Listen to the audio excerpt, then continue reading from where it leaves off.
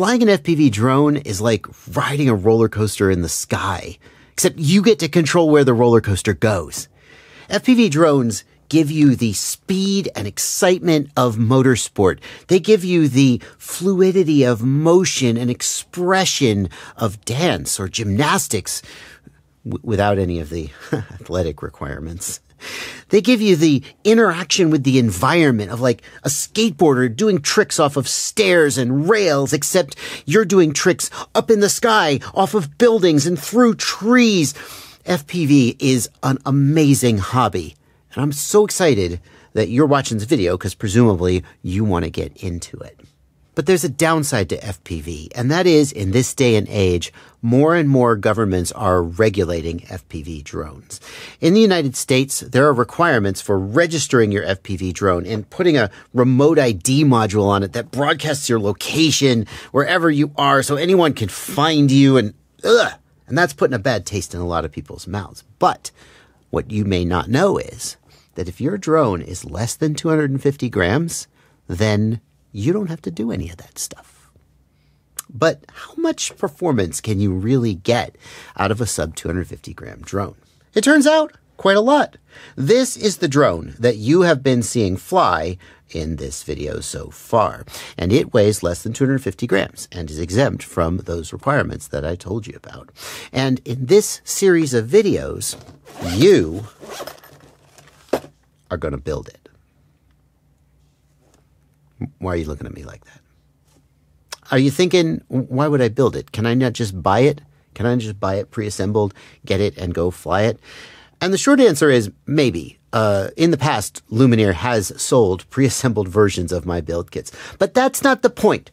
The point is that if you fly an FPV drone, you're going to do awesome stuff with it. And when you do awesome stuff with it, eventually you're going to crash it. And when you crash it, most of the time, it'll just pop back up again. These things are surprisingly durable. But eventually, you will break it. And when you break it, you're going to need to know how to fix it because it's not like there's the FPV drone store that you just take it into the mechanic and pay your money and get it fixed again. And even if you did, you'd pay a lot of money getting it fixed because you're going to fly it hard. You're going to crash it and you're going to break it more than you'd like to pay to fix it. You need to know how to fix it. And that's hard because these things are complicated and learning to fix them is challenging. And I think the single best way to learn to fix an FPV drone is to have built it yourself. And that's what this series is about. In my previous 5 inch, greater than 250 gram build series, I've taught thousands of people over the course of several years how to build and maintain and fly a 5 inch FPV drone. And in this series, I'm going to do the same thing for you with this sub 250 gram 3 inch FPV drone. And we're going to start right now by going over the parts that come in the kit and introducing you to the parts of an FPV drone. Now, I will say, if you've already purchased the kit and you're looking to get started on the build, then you can go to the playlist linked in the video description below. All of the videos in this build series are in a playlist, and you're just going to work your way through from start to finish. And at the end, you'll have a drone that you can fly, wee, and you'll go out and you'll have a good time. If you're ready to go do that right now, then playlist in the video description below. Otherwise, stick with me. We'll go over the parts that come in this. We'll talk about some some parts that don't come in that you're going to need to get anyway, and we'll just sort of talk about the parts of a quadcopter, which you may not know. And the first part is the frame, and that is these carbon fiber pieces that sort of hold everything together. The frame for this quadcopter is the Lumenier QAVS2 Joshua Bardwell Edition 3 inch frame. This is a brand new 3 inch frame that was designed just for this project. And uh, I mean, it's a 3 inch quadcopter frame. We designed it to be a little more on the durable side than the lightweight side, mm, which in a sub 250 gram means a few other compromises had to be made, but we really wanted a frame that wasn't going to just fall apart on you if you crashed it a lot. So we've got 3.5 millimeter carbon fiber here on the plate that's holding the motors and 1.5 millimeter carbon plate for the other ones, and we think that's the right balance between durability and lightweight. We've also got this metal front end, which improves durability and simplifies camera mounting, which again added a little bit of weight, but we thought it was worth it. I am particularly proud of this frame. I, I didn't design this frame. I just sat there and made annoying comments while the actual designers designed the frame. But I'm particularly proud of the way that the motors mount on this frame. The motors mount to this plate here. Um, and then the rest of the bottom plate is in the front and back. And this addresses a problem that comes up when you design a small quadcopter frame. The lightest weight and the most simplicity is if you just cut the whole bottom plate out of a single piece of carbon fiber sheet. But the problem is that when it breaks, you have to replace the entire carbon fiber sheet, which basically means you have to strip down the whole quadcopter, take all the electronics off, and basically rebuild the whole thing from scratch. Uh, on the other hand, you can have individual arms that slot in and then if you break an arm, you only replace that one arm.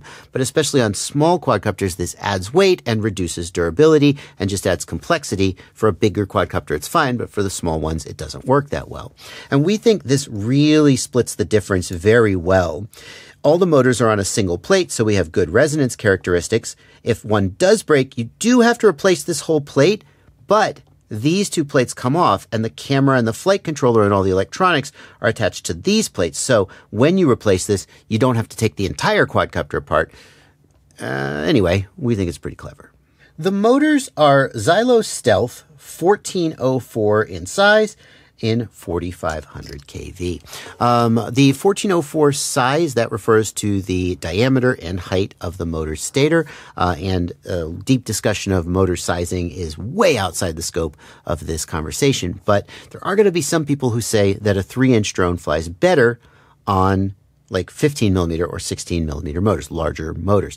And that is true, but that would put us over 250 grams, and that's what we had to do to get under 250 grams. There are going to be those who say that this would be better if it was a three and a half inch drone instead of a three inch drone. And in some ways they would be right, but again, that would put us over 250 grams.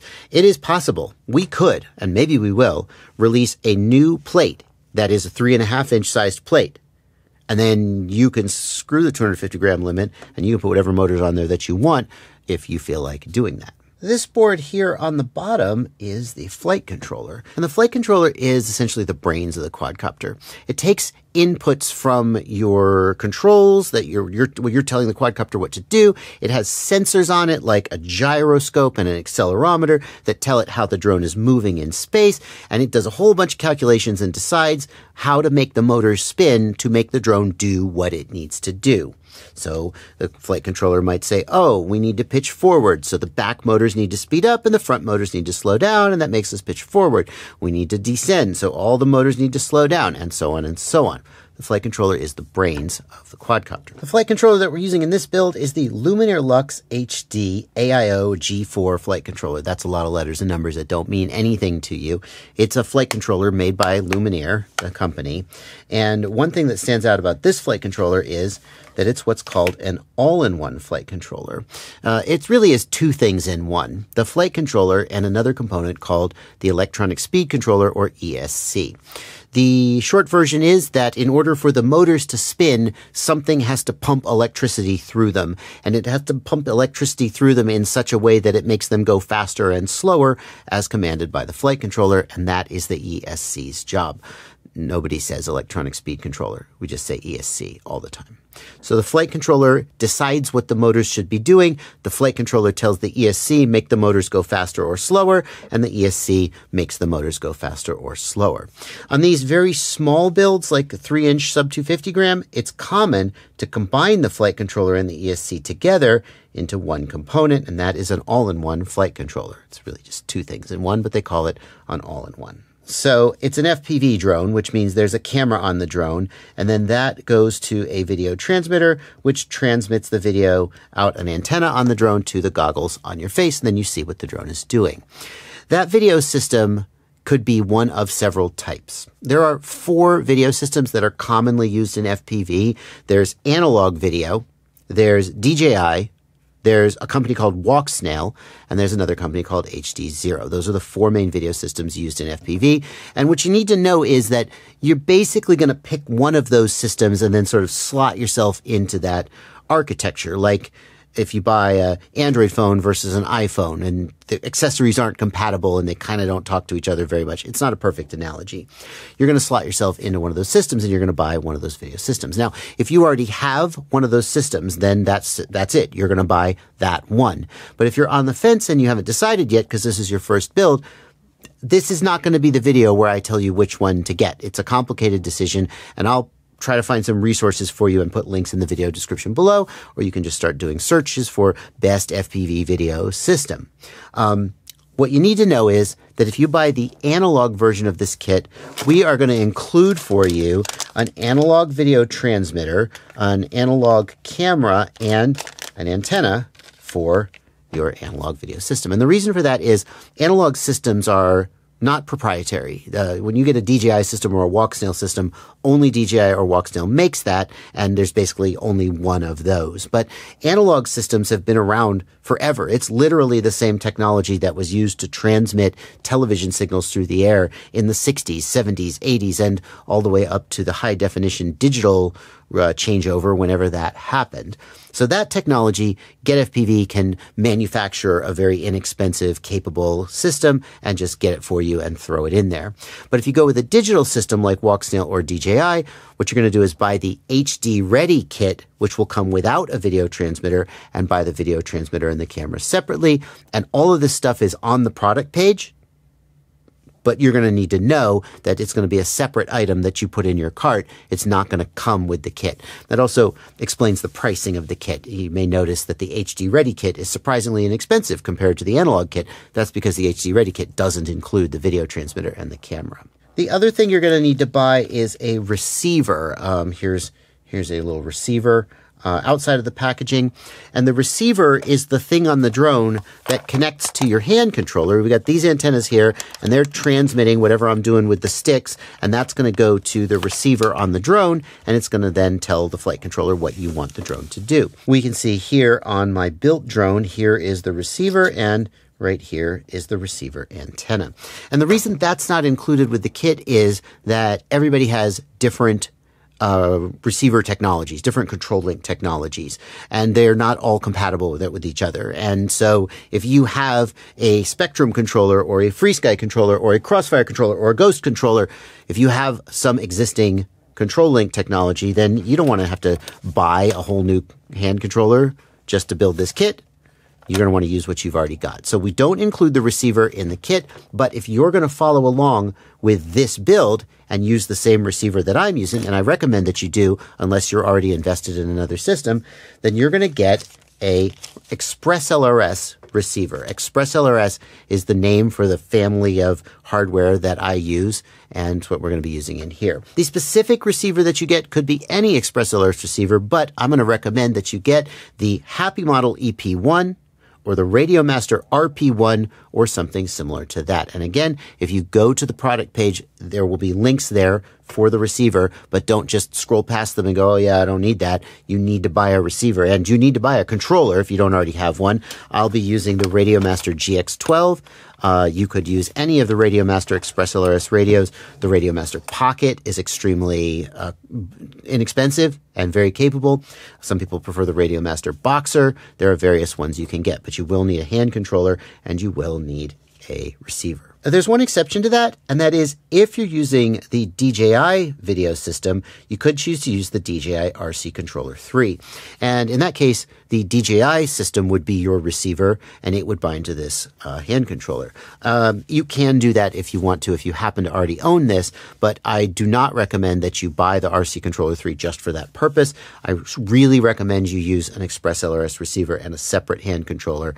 Uh, it's going to give you a better experience, in my opinion. If you happen to already own this and you just want the convenience of not having to buy a separate receiver and save the money, you can use this. And I will have instructions for setting this up in the tutorial. So now you're familiar with the major components of the drone and the only thing left to do is to start tearing this apart and putting it together. And we're going to do that in the next video in the playlist. There's a link to the full playlist for this build series down in the video description below. As well, I'll put a card on screen where you can click on that and go to that playlist and just start working your way through the videos. And I'll see you there.